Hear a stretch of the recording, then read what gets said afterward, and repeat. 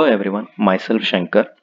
In this lecture, we will be discussing solutions for GATE 2020 Power Electronics questions. First of all, let's see the weightage.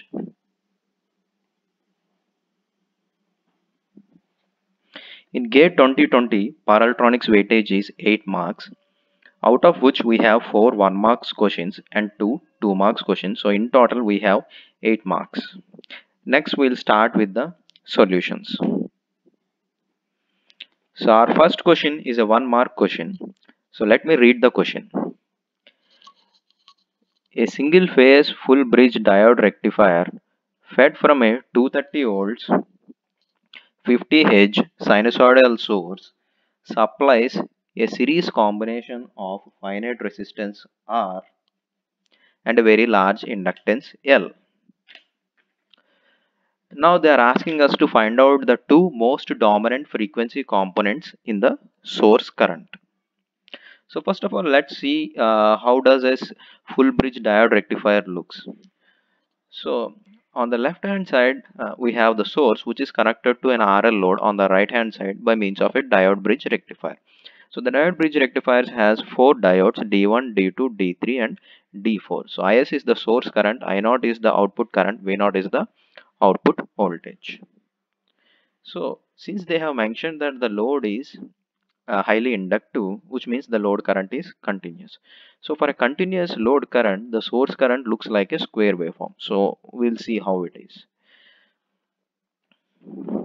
So these are the sample waveforms okay. So here we have uh, the source voltage which is a sinusoidal voltage.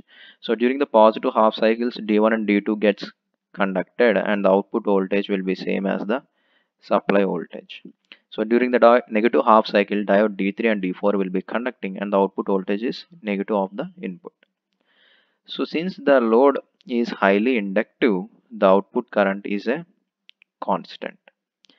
So uh, so let's see how the source current looks. So during the positive half cycle when diode D1 and D2 are conducting this is how the load current flows right? So the load current is in series with the source current. So the source current follows the straight line. In the next half cycle when the diodes d3 and d4 are conducting this is how the load current flows. So this is opposite to our source current notation. So which means the source current becomes negative. So if you see the waveform clearly it is a square waveform so according to the Fourier series, the expression for the square waveform can be given as I source equal to sigma n equal to 1, 3, 5 and so on infinity 4i by n pi sine n omega t. i is nothing but the peak value. So if you see uh, the Fourier series expression, it is clear that we have only odd harmonics 1, 3, 5 and so on. So they are asking us to find out the most dominant frequency components, not the harmonic frequency component. So the two most dominant frequency components are 1 and 3. So that is 50 and 150 Hz. So let's move on to the next question, which is also a one mark question. So let me read the question. So the thyristor T1 is triggered at an angle of alpha and T2 is triggered at an angle of alpha plus 180 degrees. In each cycle of the sinusoidal input voltage, which is 200 volts 50 Hz. Assume both thyristors to be ideal to control the load power war range of 0 to 2 kilowatt. They are asking us to find out the minimum range of variation of alpha. So this is nothing but AC voltage regulator. So so let's see the solution. So actually uh, in, uh, if you see here uh, the load is of a leading type because the angle is negative right?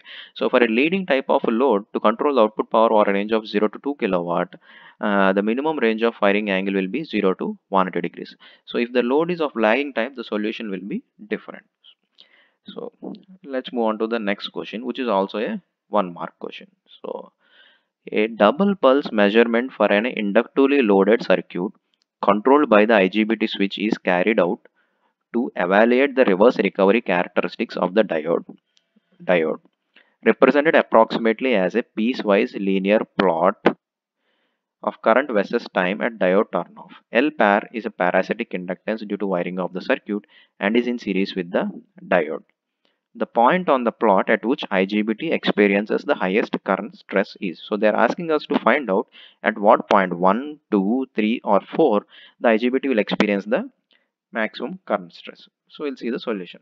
So the IGBT will experience the maximum current stress only when the current flowing through it is maximum, right? Suppose uh, the current flowing through IGBT will be maximum when uh, it, it is the sum of uh, the diode current as well as the load current which means the diode current should flow in this direction as well as the load current flow should flow in the downward direction so both both the currents flows in the downward direction then the IGBT current will be sum of these two currents uh, which means the diode current should be negative. So in this region the IGBT will be experiencing the maximum stress. But in the in this region at which point IGBT will experience the maximum stress? So it IGBT will experience the maximum stress at point 3 because at point 3 uh, the current uh, the current is maximum negative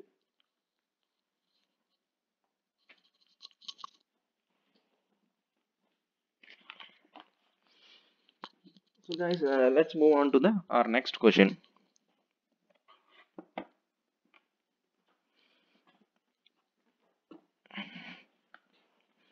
Which is also a one mark question.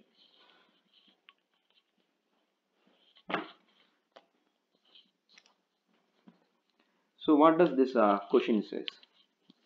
A single phase inverter which is fed from a 100 volts dc source is controlled using a quasi square modulation scheme to produce an output waveform as shown in the figure and the angle is adjusted to entirely eliminate the third harmonic component from the output voltage. So under this condition for output waveform, they are asking us to find out the ratio of the fifth harmonic component to the fundamental component. So let's see the solution.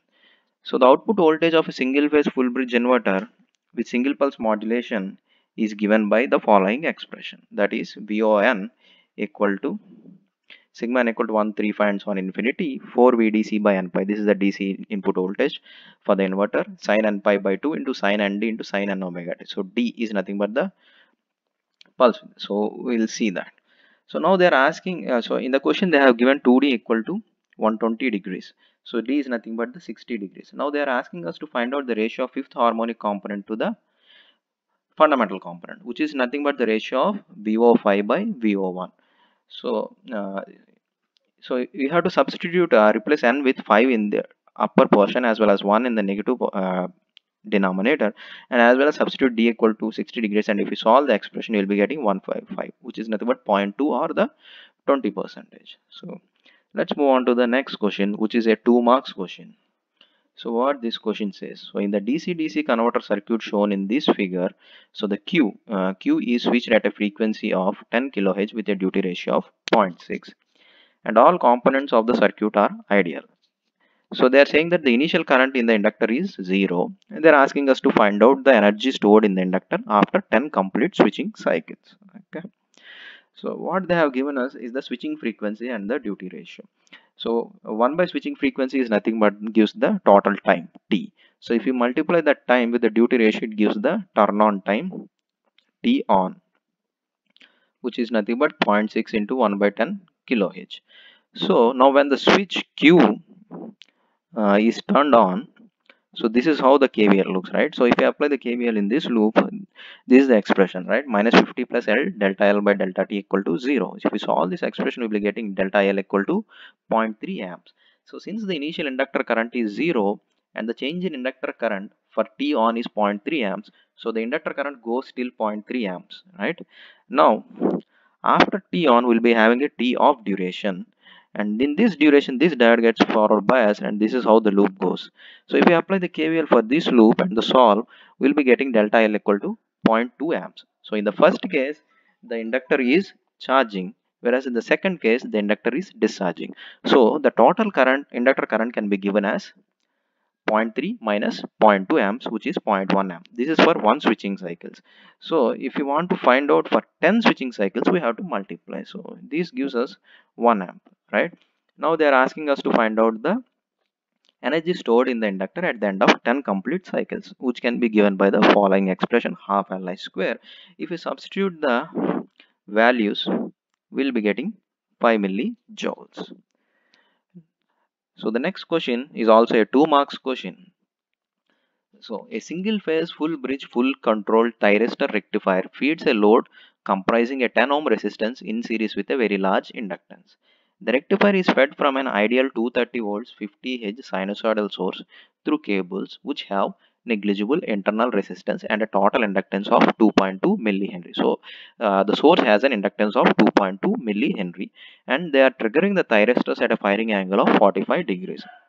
So now they are asking us to find out the overlap angle. So so for a full bridge full control thyristor rectifier without source inductance for a continuous conduction the average output voltage can be given as V naught equal to 2 Vm by cos alpha.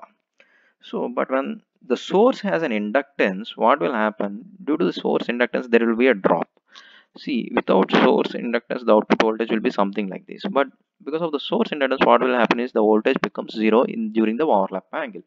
So this decrease in voltage is given by the following term. So we have to substitute the following term from the 2m by pi cos alpha. Right? So they have given the load is RL load but the load has inductance. Since the average voltage across the inductor is 0 we can substitute v naught equal to i into r in the above expression. And if we solve that we will be getting the following expressions. So in the expression if you substitute r equal to 10 ohm r equal to 10 ohm comma vm equal to 230 root 2 comma ls equal to 2.28 millihenry and alpha equal to 45 degrees. And solve we'll get the value of i naught that is around 14 amps. So now we have to find the overlap angle. To find the overlap angle we need to use an expression which expresses the relationship between the firing angle and the overlap angle. So that can be given by the following expression. So similarly if you substitute the following values in this expression and, and solve for mu we'll be getting around 4.48 degrees. Okay that's all guys for uh, this session. Thank you